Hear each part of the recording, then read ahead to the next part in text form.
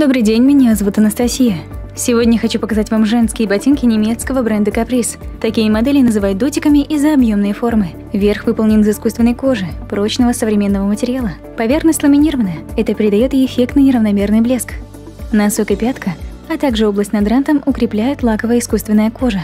Она более гладкая по сравнению с ламинированной и также имеет блеск. С помощью двух молний по бокам вы сможете обуваться быстро и удобно. С изнанки молнии продублированы кожаными деталями – даже когда обувь расстегнута, ваши ноги защищены от холода и ветра. Благодаря высокой форме и мягкому голенищу внутрь не попадает снег и дождь. Подкладка и стелька сделаны из искусственного меха.